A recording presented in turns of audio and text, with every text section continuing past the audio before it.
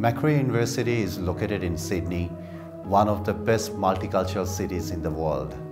Macquarie University is currently having 40,000 students. Among them, 10,000 students are international students. We are having over 100 different countries of nationalities students are on campus. We have nearly 200 Nepalese students studying at Macquarie University. Macquarie University is very famous for its interdisciplinary teaching approach, cutting-edge learning facilities, and above all, that high-quality research outcome.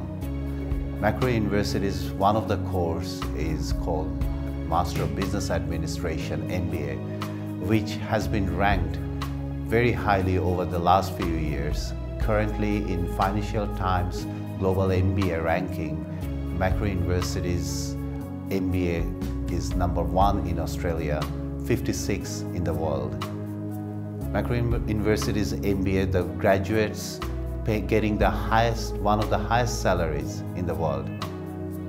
This MBA is run by our business school, which is called MGSM, Macquarie University Graduate School of Management. They also offer Master of Management and Master of Social Entrepreneurship this highly reputable course in Australia. MGSM is one of the accredited institution by AACSB accreditation. Currently, Macquarie University is offering $3,000 per year country scholarship for Nepalese students.